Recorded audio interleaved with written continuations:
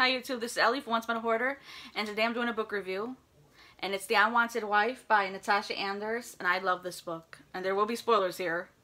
And I give it a 5. It's amazing. And I cried like a baby. It's so sad, and the title's perfect for it, The Unwanted Wife, because she really is the unwanted wife.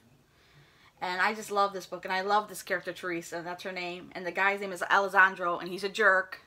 And it's just like a Harlequin Presents, so if you love Harlequin Presents, you're going to love this book. But the best thing about this book is he actually redeems himself. And like you know in Harlequin Presents, the guys can never redeem themselves. First of all, they don't grovel enough. Some don't even apologize. So yeah, he redeems himself. I actually sort of felt sorry for him at the end. But she gave him hell all through the book and I loved it.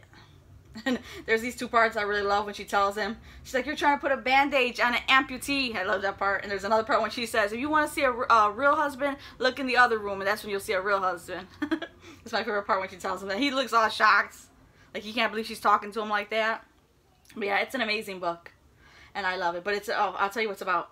Oh, sorry about that. My, my thing's about to go dead. But yeah, so it's about this lady who wants a divorce after being with this man who treats her like crap all through the marriage, even a little before the marriage and she's just sick of it now. And she's and it, you just you want to you I almost want to hate her because she stayed in this marriage for so long. But then I started thinking about it. She really loved him, and usually I don't like I don't accept that part because they love them, They stay with him, get treated like trash. But I mean. I don't know. I liked this character, so I still liked it. I didn't hate her at all, and I was very surprised because most Harlequin Presents heroines I hate, but I love this character. And so she stays with him, and she wants a divorce. That's the beginning of the book. Right, right in the beginning, she says, "I want a divorce," and I just love that about her. Well, I love that about the book. But I, I mean, I like this character because she's very strong.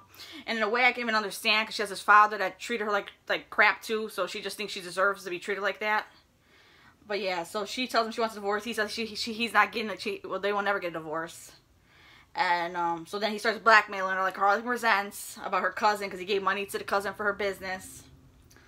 And um, so eventually he just tries to like win her back and he's changed man because he falls in love with her finally.